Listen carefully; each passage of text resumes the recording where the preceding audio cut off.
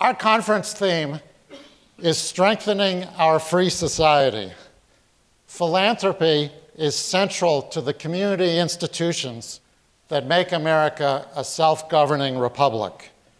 Churches and synagogues, colleges and universities, museums and orchestras, hospitals and scientific research centers, youth programs such as Scouting and Little League, and grassroots problem solvers who help the needy and homeless in their neighborhoods. Private charitable giving sustains all of these institutions and gives them the independence to make their own decisions. Private charitable giving is also at the heart and soul of public discourse in, this, in our democracy. Name a great issue of public debate in this election year climate change, the role of government in healthcare, school choice, minimum wage laws, religious liberty. On all these issues, private philanthropy enriches civic life by enabling organizations with diverse viewpoints to articulate and spread their message.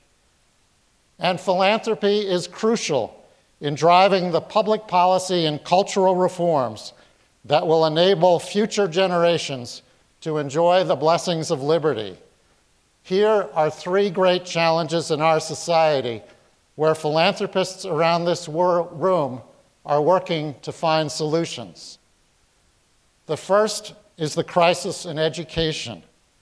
One third of American fourth graders cannot read, and in an ever more competitive global marketplace, three quarters of 12th graders cannot meet world standards for math.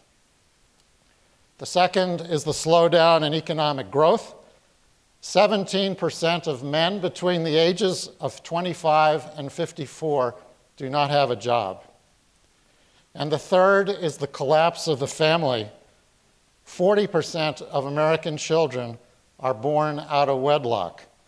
This is catastrophic for children's future as a landmark study by Harvard economist Raj Chetty recently found, the single greatest determinant of regional variation in upward mobility is the proportion of children growing up in single parent homes.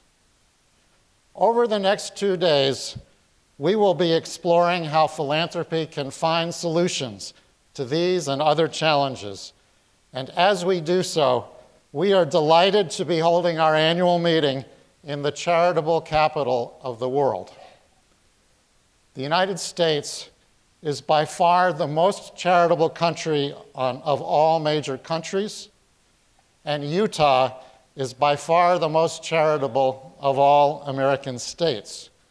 In 2011, according to the Urban Institute, itemizing taxpayers in the Beehive State gave an amazing 4.8 percent of their adjusted gross income to charity, more than twice the national average. No other state came close. Philanthropists of all faiths and none can learn from the Mormon welfare system, which doesn't take a dime of government funding and combines work requirements with extraordinarily generous supports to people to move in need to help them move to self reliance. Salt Lake City is also one of the nation's leaders in upward mobility, in part because of the strong families here and the strong work ethic of a state whose motto is industry.